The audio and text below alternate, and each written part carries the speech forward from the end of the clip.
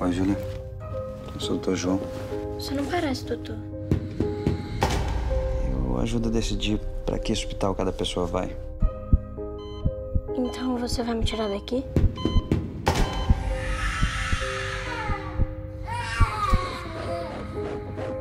Você não é pai, né?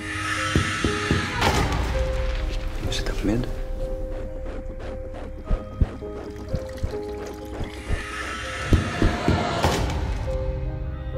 Cuidar de você.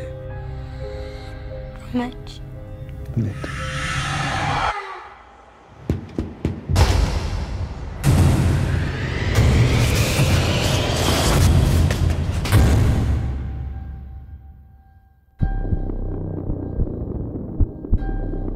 Não para de chorar. Não tem ninguém aqui.